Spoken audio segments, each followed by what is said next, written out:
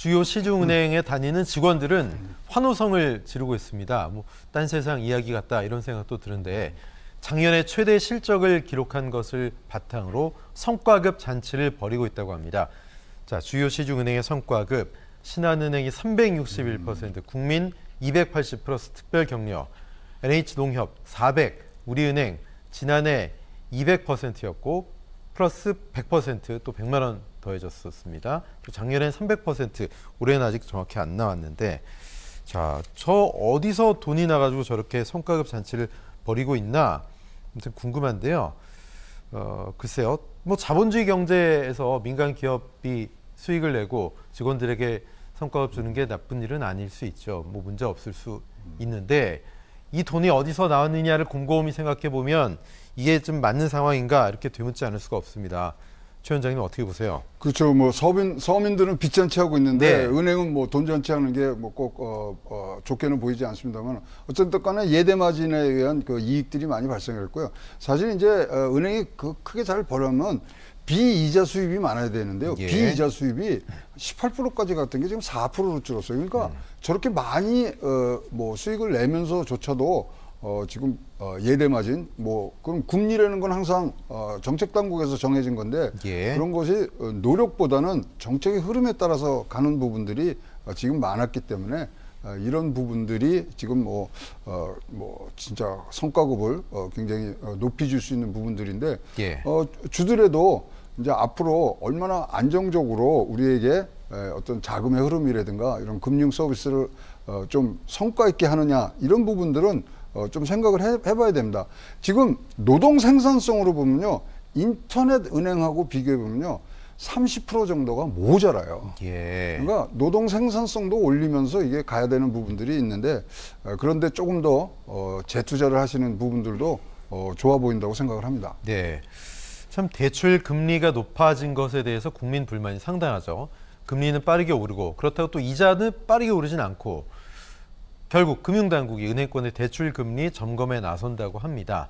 대출 금리가 낮아질 가능성이 있을지 지금 뭐 이자 때문에 허덕허덕하는 분들 많으신데 또 일각에서는 시장 금융에서 정부의 개입이 과연 적절한 거냐 이렇게 보는 시각도 있습니다. 윤평론가 어떻게 보십니까? 지난해 1월에서 9월까지 은행이 이자로만 거둔 수익이 40조 6천억이에요. 어마어마하네요. 예. 40조 6천억입니다. 사실은 이렇게 경기가 굉장히 어렵고 힘들고 서민들의 삶이 굉장히 힘들 때는 예. 저는 국가가 당연히 당국이 개입을 해야 된다라고 저는 생각을 해요. 네. 은행이야말로 사실은 그 국민 그다음에 정부의 어떤 울타리 안에서 별다른 글쎄요 뭐 자신들은 열심히 영업 활동을 한다고 하지만은 네. 어떤 혁신이나 영업의 어떤 활동의 어떤 노력 없이도 예. 어떻게 보게 되면 뭐 앉아서 돈 버는 기업들 아닙니까? 네네. 그럼 이 부분에 대해서는 당연히 금융당국의 개입이 있어야 된다라고 저는 생각을 하는 거고요. 특히 대출 금리에 대한 어떤 규제 같은 경우에는 시장 예. 상황에 맞게끔 반드시 어떻게 보게 되면 좀 규제라든지 개입이 좀 있어야 될 것 같아요. 예. 지금 은행채 금리 같은 경우도 좀 안정이 됐고요. 수신금리 지금 예금금리 계속 낮아지지 않습니까? 은행들이 네네. 낮추고 있지 않습니다. 그럼 은행들 조달금리가 낮아지고 있는데 왜 대출금리를 이렇게 올라야 되느냐 하는 문제들 거기에 대한 어떤 기본적인 의문들을 가질 수밖에 없는 거고요. 네. 은행들의 어떤 이자 마진, 이자 수익이 이렇게 좀 과도하게 벌어질 때 경우에는 금융당국의 어떤 견제 조치가 반드시 필요하지 않냐 이런 생각을 합니다. 네. 최영 원장님 네. 어떻게 보십니까? 정부의 개입이 뭐 적절하다고 보세요? 아니면 그러니까 안 된다고 보세요? 저는 도시 파괴를 하는데 두 가지 큰 요소가 있습니다. 전쟁을 하거나 예. 정부가 어, 렌트비에 개입을 하거나 똑같습니다. 지금 금리를 조정을 하는 게 정부 당국에서 하기 때문에 예. 진짜로 무슨 전쟁이 나서 금융 시스템이 망가지는 어, 이상은 아주 강력한 이런 금리에 대한 어, 조정을 당국이 하는 것 자체가 사실은 어, 이 금융 시스템의 자율성과 이 돌아가는 시장 원리를 좀 어, 혼탁하게 할 수 있는 부분들이 있거든요. 예. 그래서 이 부분들을 해야 되는데 지금 뭐 사실 성과금이나 이런 거 뭐 은행도 뭐 영리를 목적으로 하는 부분들이 있으니까 뭐 많이 나는 건 좋지만 그렇다고 해서 직원들이 나눠가는 게 아니고 주주 환원을 해야죠. 그래서 주주 환원하면 외국 같은 경우는 평균이 64%입니다. 근데 우리나라는 24%밖에 안 돼요. 네. 그래서 같이 커서 또 서민들이 그것을 나눠 가질 수 있는 부분들, 그다음에 뭐 정책 금리라는 게 항상 뭐 높을 수 있는 나눠줄 수 있는 게 각 개인차가 있- 있습니다만은 적절하게 갈 수 있는 에, 모든 사람을 만족하는 금리는 없기 때문에 예. 조금 더 자율성과 독립성을 가진 어, 그런 어, 금리 정책을 어, 펴주시는 게 기준 금리는 정하지만 네.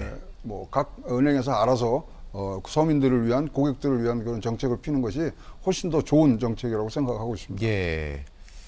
최근에 은행 갔다가 좀 당황했던 경험 있으신 분들도 어, 있으실 겁니다. 시중은행에 대한 불만 중에 하나인데 바로 단축된 영업 시간이 이어지고 있는 겁니다. KB국민은행 같은 경우에는 일부 출장소가 점심 시간엔 아예 문을 닫고요. 또 지방은행이죠. 대구은행, 부산은행 같은 곳들은 이미 소형 점포를 중심으로 해서 점심시간 1시간 영업을 아예 안 하고 있습니다. 자, 이런 은행의 단축 영업이 이어지면서 금융위원장까지 나서고 있습니다. 하지만 결론은 쉽지 않을 것 같습니다. 최 원장님, 네. 이럴 거면 오프라인 지점 점포 왜 있느냐 이렇게 볼멘 그렇죠. 소리도 있고 뭐 어, 온라인 은행과 뭐가 다르냐 이런 얘기도 있습니다.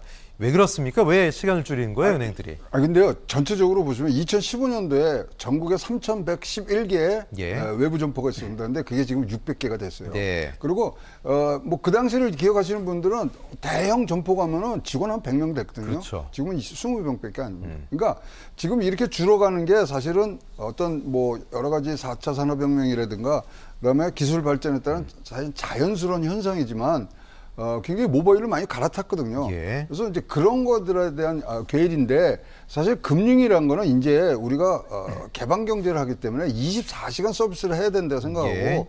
어, 자연적으로 옮겨 타는 어, 그런 과정에서의 조금 어, 미스매치가 있지만 그래도 아직은 많은 사람들이 오프라인으로 대면으로 어, 예. 은행 업무를 하시는 분이 많기 때문에 네네. 금융업은 결코 뭐 이런 생산성을 따지는 것보다는 서비스업이거든요. 그래서 고객들이 얼마만큼 편하게 에, 금융 행위를 할 수 있게 도와주는 것이기 때문에 뭐 금융위원장까지 나섰는데 조금 더 어, 활발하게 이런 부분들에 대해서는 어, 너는 이, 이 확보를 하시고 확대를 해주셔야 되는데 노조들이 또 반대하는 부분들도 지금 네. 있다고 어, 보여지는데요. 금융은 서비스입니다. 예.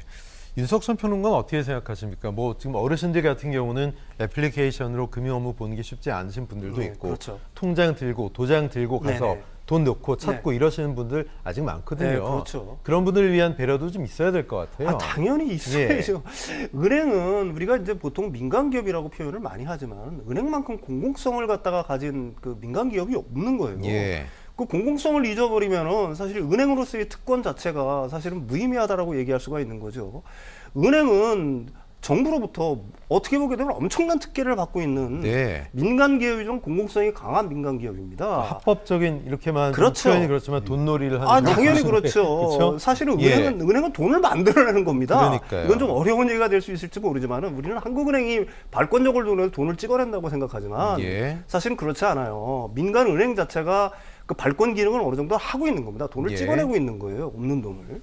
그러면서 돈을 버는 구조인데 그렇다면은 당연히 공공성에 대해서도 치중을 해야 되겠죠. 가령 뭐 이 서울 수도권만 해도 그래도 좀 덜한데 사실 시골에는 연로하신 분들이 굉장히 많지 않습니까? 네. 음. 이곳에 은행 지점들도 없어요. 이분들은 은행 일을 한번 보려면 하루가 훌쩍 갑니다.